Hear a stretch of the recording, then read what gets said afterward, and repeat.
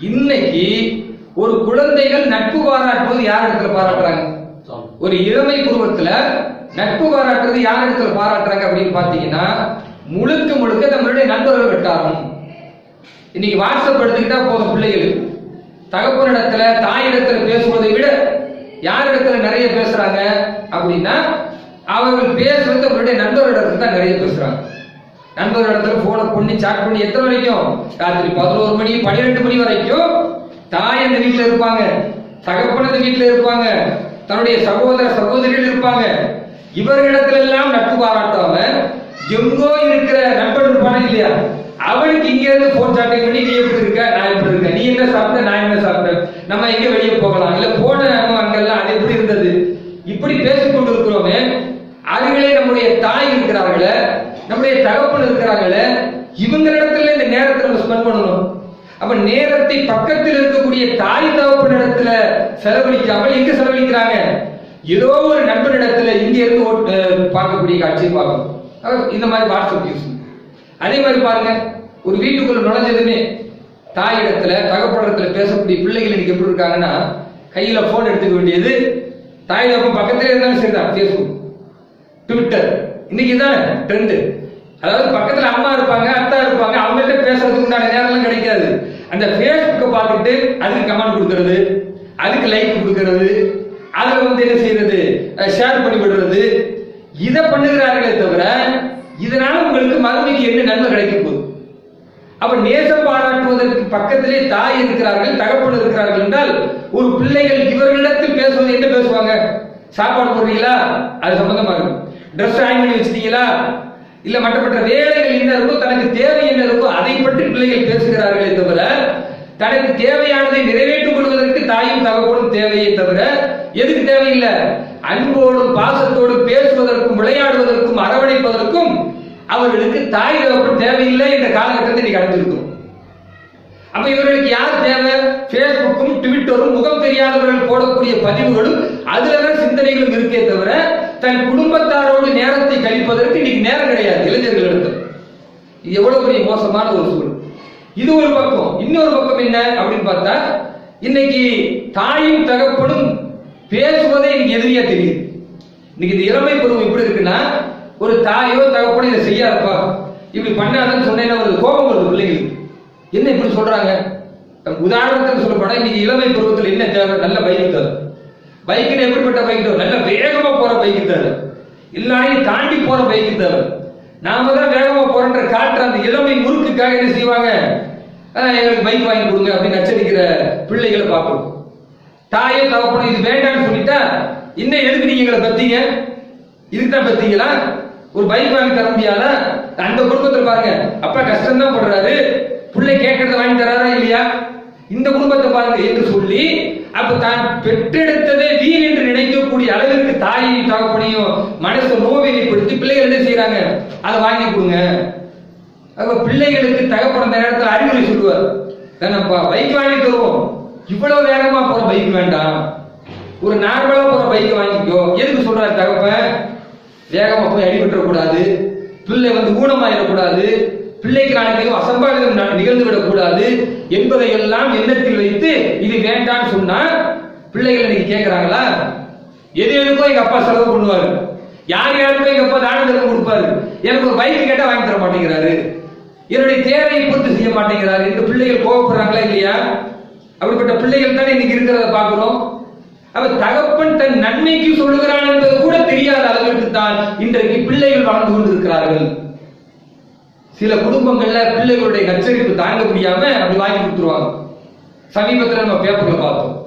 ஒரு பைக் அந்த பைக்கே வந்து ஒன்றரை லட்சம் ரூபா அப்படிப்பட்ட வேகமா போற ஒரு பைக் அந்த பிள்ளை கேட்டான் இன்ஜினியர் படிச்ச பிள்ளை கேட்டான்னு வாங்கி கொடுத்தா வாங்கி கொடுத்த அடுத்த நாள் இதே வந்து சென்னையில் உள்ள பல்கலைக்கழகத்துல வேகம் ஓட்டிட்டு போய் அந்த மதில் சுவர்ல மோதி பைக்கும் தூள் தூளா போயிடுச்சு பிள்ளையோட மண்டையும் தூள் தூளா போயிட்டு. அந்த தாயார் வந்து பிள்ளை அந்த இறந்த அந்த இடத்துல இருந்து கதறிக்கிட்டு அடி தலையில் அடிந்து கொண்டு அழுகிறார். இந்த கொடுமையான சூழலை யார் மேல தப்பு சொல்றது? பிள்ளைகள் கேட்கக்கூடிய பிள்ளைகளுக்கு தரலன்னா பிள்ளைகள் கோவப்படுறாங்க பிள்ளைகள் ஒரு விஷயத்தை ஆசைப்பட்டு கேட்கிறாங்க. எனக்கு இது வேணும் எனக்கு இந்த ஆடை வேணும் இப்படி போடணும். இப்படிலாம் ஆசைப்பட்டு கேட்கும் பொழுது வேண்டான்னு தகப்பனோ தாயோ தழுந்தால் அது பிள்ளைகள் என்ன நினைக்கிறாங்கன்னா இவங்க காலத்தை நம்மளும் ஏன் ஒப்பிடுறாங்க? இது நியூ ஜெனரேஷன் அப்ப நியூ ஜெனரேஷனுக்கு ஏற்ற மாதிரி இவங்க வரல அடாப்ட் ஆகல என்று சொல்லி இவர்களாக ஒரு எண்ணத்தை மனசுக்குள்ள போட்டு என்ன பண்றாங்க? தான் விரும்பியது கிடைக்காவிட்டால் தாயை வெறுக்கக்கூடிய பிள்ளைகளா இருக்கிறாங்க. தகப்பனை வெறுக்கக்கூடிய பிள்ளைகளா இருக்கிறாங்க. உடனே மற்றவர்கிட்ட போய் கேட்பாங்களா இல்லையா? பிள்ளைகள் போய் என்ன செய்வாங்க? மற்றவர்கிட்ட சொல்லும் பொழுது அவங்க என்ன செய்வாங்க? அறிவுரைன்ற பேர்ல இவங்க தாய் தகப்பட்டு வந்து அதான் பிள்ளை தானே கேட்கிறான் வாங்கி கொடுத்தா என்ன? அல்லதான் உங்களுக்கு பழக்கத்தை கொடுத்துருக்காங்க செஞ்சு கொடுத்தா என்ன? என்று சொல்லக்கூடியவர்கள் அவங்க வீட்டில் அப்படி இருப்பாங்களா இருக்க மாட்டாங்க. ஒரு பிள்ளை நம்ம பிள்ளைய போய் அவங்க சித்த சித்த சாட்சிக்கிட்டயோ பெரியப்பா கிட்டயோ சித்தப்பா கிட்டயோ சொன்னா அந்த பிள்ளைய வச்சுட்டு இவங்க அறிவுரை சொல்லுவாங்க. அவன் தான் கேட்கறாங்க வாங்கி கொடுக்க வேண்டியதான்மா அப்படின்னு. அவர்கள் வீட்டில் அவர்கள் பிள்ளை கேட்கும் போது அவங்க என்ன யோசிப்பாங்க? அம்மாடி நம்ம பிள்ளைக்கு வேகமான பைக் வேண்டாம். நம்ம பிள்ளைக்கு இந்த மாதிரி பொருள் கேட்கறான் வேண்டாம். நல்ல ஸ்மார்ட் போன் கேட்கறான் இப்ப வாங்கி கொடுத்த கெட்டு போயிடுவான் என்று நினைப்பார்கள். பிற பிள்ளைகள் என்ன செய்வாங்க? அதை வந்து என்கரேஜ் பண்ணுவாங்க. அதெல்லாம் பிள்ளைங்களுக்கு கேட்கற நேரத்துக்கு வாங்கி கொடுத்தா என்ன தப்பு? இப்ப இது மாதிரி சூழல் இன்றைக்கு இளைஞர் பருவத்தில் இருக்கு. அப்ப இது மாதிரி ஒரு பக்கம் தாயையும் தகப்பனையும் நேசித்து அவர்களோடு நேரம் செலுத்துவதற்கு முடியாத பிள்ளை இன்னொரு பக்கம் எப்படி இருக்கிறாங்க? தாய் தகப்பன் சொல்லக்கூடிய அறிவுரை என்பதை கசக்கிறது. அவர்களுக்கு வந்து தாய் தகப்பன் சொல்லக்கூடிய அந்த நல்ல விஷயங்களை வெறுக்கிறாங்க. இது எல்லாம் தாண்டி இன்னொரு பக்கம் என்னவென்றால் இரையச்சம் என்பது அப்படியே கொஞ்சம் கொஞ்சமா பிள்ளைகளுக்கு இல்லாம போறது பார்க்கும் இந்த பதினஞ்சு வயசுல இருந்து முப்பது வயசு வரைக்கும் ஒரு இளமை பருவம் இருக்கிறது என்றால் இந்த ஷபாப் என்று சொல்லக்கூடிய இந்த இளமை பருவத்தை எப்படி பயன்படுத்தணும்? எப்படி பயன்படுத்தினால் அல்லாஹுடைய அந்த பொருத்தம் கிடைக்கும் என்பதை திருமறை குரானில் இருந்து நாம பார்க்கணும். திருமறை குரானில் அல்லாஹ் ரப்பல் என்று சொல்லக்கூடிய பதினெட்டாவது அத்தியாயம் அந்த அந்த அத்தியாயத்தில் அல்லாஹ் சொல்லி காட்டுகிறான் அது அல்லாஹ் சொல்லும் பொழுது இளைஞர்களை பற்றி அங்கு பேசுகிறான். இன்னும் சித்தியத்தும் அவர்கள் இளைஞர்களாக இருந்தார்கள். அல்லாஹ் சொல்லி காட்டுறான் ஆமனு ரப்பிஹிம். அவர்கள் தங்களுடைய இறைவனை முழுமையாக நம்பினார்கள். அவர்களுக்கு அல்லாஹ் நேர்வழியை அறிக்கப்படுத்தினான் இளைஞர்கள் எப்படி இருந்தார்கள் என்றால் அவர்கள் அல்லாஹை நம்பினார்கள் உறுதியாக அப்படி நம்பியதின் அடிப்படையிலே அல்லாஹ் அவர்களுக்கு நேர்வழியை அதிகப்படுத்தினான். இந்த இளைஞர்கள் என்ன செய்தார்கள்? அல்லாஹ் சொல்லி காட்டுகிறான். இது காடு ரப்புனா ரப்பு சமாவாத்தி வல்லர். லன் நதுஉ மின் தூனிஹி இலாஹன். லகத் குல்னா இதன் ஷததா. அவங்க சொல்றாங்க யார் இடத்துல? அவர்கள் வாழக்கூடிய அந்த இளைஞர்கள் வாழக்கூடிய இடத்துல அந்த ரோமானிய பேரரசு இருக்கக்கூடிய அந்த இடத்துல என்ன நடக்கிறது என்று பார்த்தால் இளைஞர்கள் இருக்கக்கூடிய நேரத்தில் அந்த மன்னர்கள் எல்லாம் அல்லாஹை விடுத்து வேறு எதை எதையோ வணங்குறாங்க கல்லையும் மண்ணையும் மரத்தையும் செடிகளையும் கொடுகளையும் வணங்கி கொண்டிருக்கிறார்கள். அப்படிப்பட்ட அந்த அரசனிடத்திலையும் மக்களிடத்திலையும் போய் சொல்றாங்க. என்ன சொல்றாங்க? அவங்க சொல்றாங்க இது காலு. அந்த மக்- அந்த இளைஞர்கள் சொன்னார்கள் என்ன சொன்னாங்க? ரப்புனா ரப்பு சமாவாத்தி கொள்ளார் இந்த வானங்களையும் பூமியையும் படைத்த எங்கள் இறைவன் இருக்கிறான். லன் நதுர் மின் தூனிஹி இலாஹன். அவனை தவிர வேற யாரையும் வணக்கத்திற்குரியவனாக நாங்கள் அழைக்க மாட்டோம். நீங்களும் அழைக்க கூடாது. லக்கது நான் இதன் சததா அப்படி அழைத்தால் நாங்கள் வரம்பு மீறியவர்களாக ஆக்கிவிடுவோம் அவர்கள் பிறருக்கு பிரச்சாரம் செய்தாங்க நாங்க அப்படி செய்ய மாட்டோம்னு சொல்றாங்க.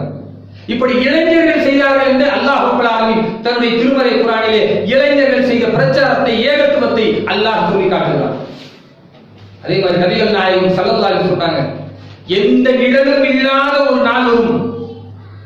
அல்லாஹ் சூரியனை அருகே கொண்டு வந்து நிறுத்திடுவான். வேர்வையால் மக்கள் எல்லாம் வடிந்து கொண்டிருப்பார்கள். அப்படிப்பட்ட எந்த நிழலும் இல்லாத அந்த நாளில் அல்லாஹுடைய அரிசின் நிழல் இருக்குமே அது ஏழு சாராருக்கு கிடைக்கும். அல்லாஹுடைய அரிசி நிழல் ஏழு சாராருக்கு கிடைக்கும். அந்த ஏழு சாரார்ல இரண்டு சாரார் அல்லாஹ் இறை எப்படி சொல்றான்? ஷபாபுன் ஷாபுன் முத்தஅல்லகுன் ஃபில் மசாஜித். அல்லாஹ் சொல்லி காட்டுது ரசூலுல்லாஹி ஸல்லல்லாஹு அலைஹி சொல்றாங்க ஷாபுன் கல்புஹு முத்தஅல்லகுன் ஃபில் மசாஜித்.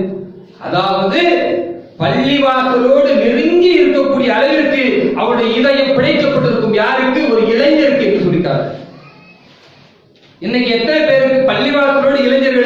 இதயம் படைக்கப்பட்டிருக்கு பதினஞ்சு வயசுல இருந்து ஒரு முப்பது முப்பத்தஞ்சு வயசு வரைக்கும் உள்ள இந்த இளைஞர்களை எடுத்துக்கங்க. இவங்க எப்படி இருக்கிறாங்க? தங்களுடைய வியாபாரம் தங்களுடைய படிப்பு தங்களுடைய இந்த உலக ஆதாயம் தங்களுடைய மனைவி மக்கள் இதுலதான் இருக்கு.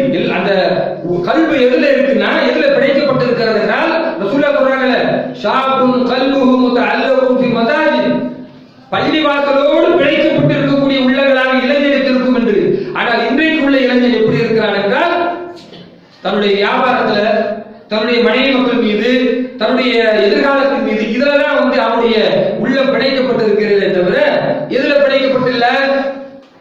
அப்படி ஆலயத்திற்கு செல்ல வேண்டும்.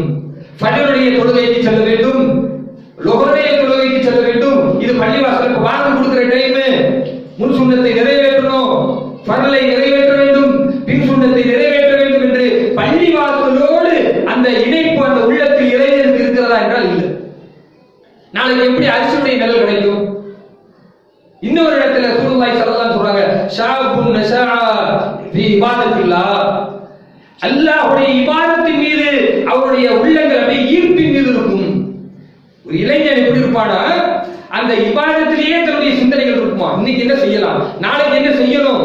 என்னென்ன இபாதத்துகள் செய்யலாம்? எப்படி எல்லாம் தாவா செய்யலாம் என்று ஒரு இளைஞனுக்கு எண்ணம் இருக்கும். இப்படி இரண்டு சாரார்கள் இருக்கிறார்கள். இவர்களுக்கு எந்த நிழலும் இல்லாமல் மறுமை நாளிலே ஒரு மனிதன் இருப்பானே. அந்த நேரத்தில் அல்லாஹுடைய அரிசி நிழல் கிடைக்கும் என்று அல்லாஹுடைய புதர் ஸல்லல்லாஹு சொல்ல குறிப்பிடுகிறார். கொஞ்சம் யோசிச்சு பாருங்க. இன்றைக்கு இளைஞர்கள் எப்படி இருக்கிறாங்க? இந்த ஒரே ஒரு பொழுதுபோக்கில் தான் இருக்கிறார் நேரத்தை டைம் பாஸ் பண்ணணும் என்பதற்காக ஃபேஸ்புக்கையும் ட்விட்டரையும் வாட்ஸ்அப்பையும் பயன்படுத்துகிற நாம் எத்தனை இளைஞர்கள் அல்லாஹ்வுடைய வசனத்தை மனப்பாடம் பண்றாங்க? இன்னைக்கு ரெண்டு வசனத்தை மனப்பாடம் பண்ணுவோம் இன்னைக்கு ரெண்டு பேர்கிட்ட போய் இஸ்லாத்தை பத்தி சொல்லுவோம். இன்னைக்கு பள்ளிவாசலோடு நாம நெருக்கமா ஐந்து வேளை தொழுகை ஜமாத்தோட நாம தொழுவோம் அல்லாஹுடைய அந்த விவாதத்தை ஒவ்வொரு நாளும் நாம பேணுவோம். என்ற அந்த எண்ணம் நமக்கு இருக்கிறதா? இளைஞர்களுக்கு இருக்கிறதா கிடையாது. அப்ப இன்னைக்கு எதுலையுமே விடுதல இன்னைக்கு பாத்தீங்கன்னா அல்லாஹுடைய அச்சம் இல்லாத காரணத்தினால் அவர்களுக்கு மத்தியில் அந்த பெருமையும் மானமும் வரும். நான் பணத்தை சம்பாதிக்கணும். கெத்தா வாழணும். இன்னைக்கு இளைஞர்கள் மத்தியில் எப்படி இருக்கு? நல்ல பைக் இருக்கணும். கெத்தா ஓட்டணும். நல்ல ட்ரெஸ் போடணும். பந்தாவா இருக்கணும். இந்த பந்தா கெத்து பெருமை இதுதான் இன்றைக்கு இளைஞர்கள் மத்தியில் இருக்கு. இதுதான் இவர்களை நாசப்படுத்துகிறது. ஆனா சூரத்து லுக்மானில் அல்லாஹ் சொல்லி காட்டுகிறார் தன்னுடைய மகனுக்கு லுக்மான் அலைஹிஸ்ஸலாம் அவர்கள் செய்த அந்த அறிவுரையை பற்றி. ஒலா தம்சி ஃபில் மதுஹா மதஹா என்னுடைய மகனே இந்த பூமியிலே ஆணவத்தோடு பெருமையோடு நடக்காது. இன்னைக்கு இளைஞர்கள் மத்தியில் என்ன இருக்கு? சட்ட போடுறதுல பெருமை பைக் ஓட்டுறதுல பெருமை நானா நீயா பார்த்துக்கோ பெருமை இந்த நேரத்துக்குள்ள வந்துட்டேன்றதுல பெருமை இவனை நான் வீட்டுக்கு போய் அடிச்சுட்டேன்றதுல பெருமை இவ்வளவு பேரை கூட்டிட்டு வந்ததுல பெருமை. இந்த பெருமை எல்லாம் இருக்கக்கூடாது இளமை பருவத்திலே என்று தன் மகனுக்கு லுக்மான் அலைஹிஸ்ஸலாம் சொன்ன அந்த அறிவுரையை அல்லாஹ் குறிப்பிடுகிறார் ஆக இன்றைக்கு இளமை பருவம் என்பது எப்படி இருக்கிறது? பெற்றோர்களுக்கு மதிப்பு தராமல். பெற்றோர்கள் சொல்லக்கூடிய அறிவுரை எல்லாம் கசக்கக்கூடிய அளவிற்கு. அவர்கள் நல்லதை சொன்னாலும் அது தீயதாக தெரியக்கூடிய அளவிற்கு தான் இளமை பருவத்தை இன்றைக்கு பிள்ளைகள் வளர்த்து கொண்டிருக்கிறார்கள். ஆக நாம் ஒரு விஷயத்தை உணர வேண்டும். மரணம் என்பது எந்த நேரத்திலும் வரலாம். இல்லையா? அல்லாஹ் அவனுடைய திருமறை குரானிலே சொல்லும் பொழுது எந்த மண்ணில் மரணிப்போம் என்பது கூட நமக்கு தெரியாது. அப்படிப்பட்ட சூழலில் இன்றைக்கு நீங்க பாருங்க விபத்துக்கள் அதிகமாக நடந்து கொண்டிருக்கிறது. இந்த விபத்துல பாத்தீங்கன்னா சராசரி பதினைந்து வயதுல இருந்து முப்பது வயது வரை உள்ள இந்த இளமை பருவத்தில் உள்ளவர்கள் தான் எழுபது சதவீதம் பேர் இறக்குறாங்க. இந்த விபத்துல புள்ளி என்னன்னா இன்றைக்கு இறக்கக்கூடிய விபத்தில் இறக்கக்கூடியவர்கள் எழுபது சதவீதம் பேர் இந்த டூ வீலர்ல பயணம் பண்ணி இறக்கக்கூடியவர்கள்ல பதினஞ்சுல இருந்து முப்பது வயசு உள்ளவங்க தான் அதிகமா இருக்கிறது. என்ன காரணம்? அந்த இளமை பருவம் இன்னும் வேகமா ஓட்டு. தன்னுடைய குடும்பத்தை பற்றி சிந்திக்காமல் தன் தாய் தகப்பனை பற்றி சிந்திக்காமல் தன்னுடைய சகோதர சகோதரிகளை பற்றி தனக்கு திருமணமாகி முடிந்திருந்தால் அந்த மனைவியை பற்றி. இல்ல சமீபத்தில் நம்ம பத்திரிகையில படிச்சோம். பேஸ்புக்ல வந்துச்சு ஒரு இஸ்லாமான ஒரு இளைஞர் அல்ல அவருக்கு சொர்க்கத்தை கொடுக்கணும். திருமணம் முடிக்கப்படுகிறது. அவ்வளவு அழகா இருக்கிறாரு. திருமணம் முடித்த அடுத்த நாள் தன்னுடைய சகோதரனை கல்லூரிக்கு போய் விடுவதற்காக போகிறார். விபத்து. வேகமா போன விபத்து இறந்து போயிடுறார். யோசிச்சு பாருங்க. எவ்வளவு மோசமான சம்பவம். அந்த தாய் தகப்பன் எவ்வளவு வருத்தப்பட்டிருப்பாங்க. அந்த மனைவி திருமணமாய் ஒரே ஒரு இரவு தான் அவனோடு பயந்து இருக்கிறாள் அந்த மனைவி எவ்வளவு வருத்தப்பட்டிருப்பார் எவ்வளவு பெரிய நஷ்டம். அப்போ இந்த இளமை பருவம் என்பது எப்படி இருக்கணும்? ரொம்ப உஷாரா இருக்கணும். நபி ஸல்லல்லாஹு அலிஸ்லாம் அழகாக சொன்னார்கள். எப்படி சொன்னாங்க தெரியுமா? ஒ ஷாபக்க கபல ஆரம்பிக்க சொல்ல சொல்றாங்க ஐந்து விஷயங்கள் உங்களுக்கு வருவதற்கு முன்னால் நீங்கள் ஐந்து விஷயங்களை பாதுகாத்துக் கொள்ளுங்கள். ஐந்து விஷயத்தை நீங்க அடைவதற்கு முன்னால் ஐந்து காரியங்களை நீங்கள் பாதுகாத்துக் கொள்ளுங்கள். அதில் முக்கியமாக ஒ ஷாபக்க கபல ஆரம்பிக்க உங்களுக்கு முதுமை வருவதற்கு முன்னால் உங்கள் இளமையை நீங்கள் பாதுகாத்துக் கொள்ளுங்கள். ஏன்னா முதுமை வந்த பிறகு முடிந்த அளவுக்கு நம்ம சம்பாதிக்க முடியாது. முதுமை வந்த பிறகு முடிந்த அளவுக்கு நம்ம செய்ய முடியாது. ஒரு முப்பது வயசுல இருபத்தஞ்சு வயசுல பாருங்க நின்று தொழுகலாம். அறுபது வயசுல தொழுக முடியுமா? நின்று தொழுக முடியுமா? விவாதம் செய்ய முடியும்? நின்று வளர முடியுமா? முடியாது. முப்பது வயசுல பள்ளிவாசலுக்கு வேகமா போகலாம். குளிர்காலங்களிலும் போகலாம். அறுபது அறுபத்தஞ்சு வயசுல பள்ளிவாசலுக்கு கூட போக முடியாத ஒரு சூழல் ஏற்படலாம். அதுதான் தான் ரசூல் ஸல்லல்லாஹு அலைஹி சொல்றாங்க ஷாபக கபல ஆரம்பிக்க உங்களுடைய வயது முடிவதற்கு முன்னால் உங்கள் இளமை பருவத்தை நீங்கள் பாதுகாத்துக் கொள்ளுங்கள். இபாதத்தில் நீங்கள் என்ன செய்யுங்க? முழுமையாக ஈடுபடுங்கள். பள்ளிவாசலோடு உங்களுடைய கல்வை இணைத்துக் கொள்ளுங்கள். இபாதத்திலே நீங்கள் அதிகமாக நெருக்கமாக்கிக் கொள்ளுங்கள். அதுதான் இளமை பருவத்தில் நீங்கள் செய்யக்கூடிய மிக முக்கியமானது. அப்படி செய்தால் அல்லாஹ் மறுமையிலே அரிசி நிலைக்குவான் ஆக இளமை பருவத்தை வீணடிக்காமல் ஒவ்வொரு நாளும் இந்த பருவத்திலே எப்படி குகை தோழர்களாக இருந்த அந்த